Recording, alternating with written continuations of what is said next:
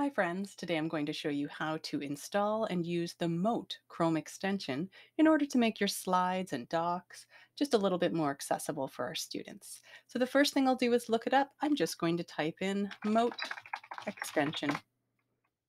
First up, one that pops up is the one I'm looking for. This is in the, Go the Google Chrome store. I want to say yes, add to Chrome, and yes, add extension. It will need to think for a little bit. It takes a few seconds. And once it actually loads, it will ask us to sign in. It'll ask us to log in, and you want to be using your school credentials to do that.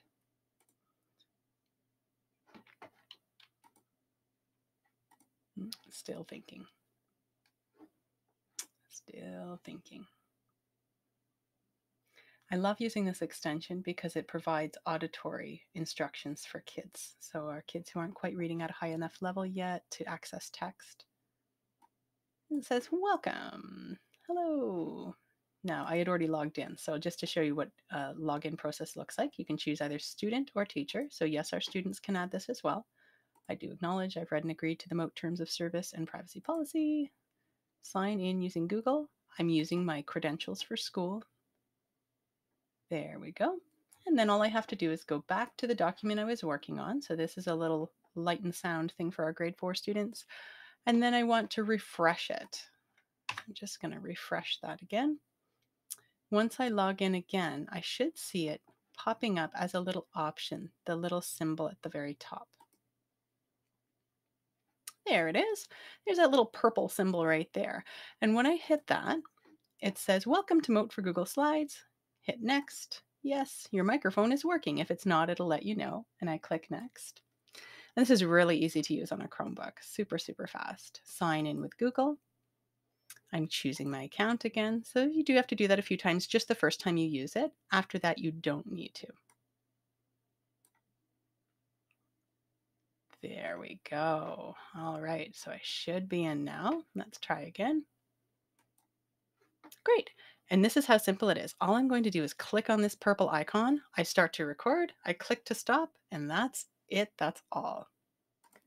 ESL ELD Introduction to Light and Sound. Students will learn about some of the properties of light and sound and how we use light and sound in our everyday lives. Step 1 learners are creating diagrams with copied labels, completing sentence stems, and using visual vocabulary charts.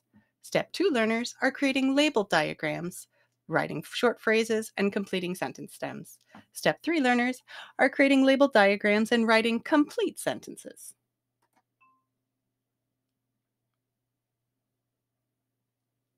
Now that's processing it. All I do is click insert. So I can play if I want to hear it. I can trash it if I made a mistake, or just insert it. Abracadabra, hold tight while they auto-magically insert the mote.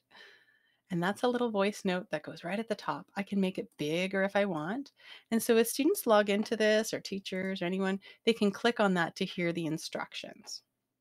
Now, this is just this front matter page here was more for teachers to understand what the learning goals were so that students wouldn't necessarily have to hear all of that. Um, but let's say here a student was using this slide, watch this video on light and talk about the following questions. Well, most kids know to press play. They see a little video like that and they go, yeah, yeah, yeah, I know I need to press play, but I don't know what all this is. Maybe they can't read that yet. So we're going to provide them with that scaffold. We're going to read it for them. Let's say, Watch this video on light and talk about the following questions with your group. Where does light come from? Can we feel light? Do we need light? And I've stopped recording. And again, I can insert this right in. And because most of our students are used to things like YouTube, um, if they've had access to their computers for a little while, if we place that over there, then when students see this slide, they can click right on that. This is what they see. Watch this video on light and talk about the following questions with your group. Where does light come from? Can we feel light? Do we need light? Easy peasy, lemon squeezy. If you have questions, feel free to contact me, kimiko underscore shibata at wrdsb.ca.